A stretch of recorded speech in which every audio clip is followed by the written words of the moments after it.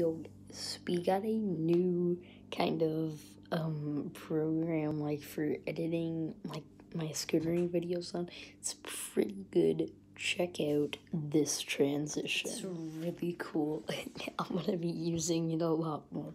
Like I just love doing different transitions, just like this one. I think I'm gonna be using um this one more. Alright, guys, that's gonna do it. Just wanted to let you guys know. Now it's actually gonna be right side up, and it's not gonna. You don't have to be on a phone. Yay!